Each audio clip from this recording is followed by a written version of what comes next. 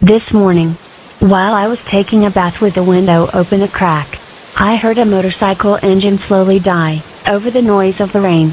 It sounded like the whole world was sighing in deep disappointment, and in that moment, I realized. I am so completely full of it. I suppose we could drill a hole in you and drain it out. But I like you the way you are.